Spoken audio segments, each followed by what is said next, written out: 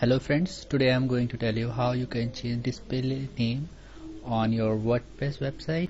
So first I want to show you my WordPress website. This is my WordPress website dayzone.net. Here you can see my display name Praveen Praveen uh, space go. So I will show you how you can change it.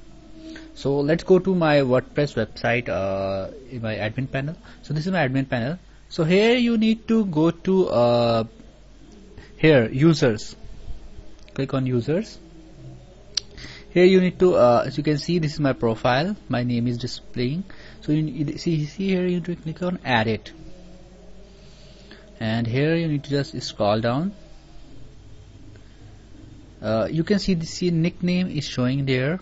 And display as author publicly this. So I want to change per, Praveen Go go to Praveen so just need to make changes here. Praveen Go and you just need to select Praveen here. Okay just uh, now save it. Profile update your profile.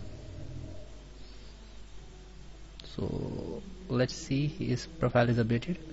Now refresh this page. Now Praveen Go will remove and Praveen only display. Just refresh the page. See here Praveen is displaying. So I have changed the profile name. You can change the same it's very simple.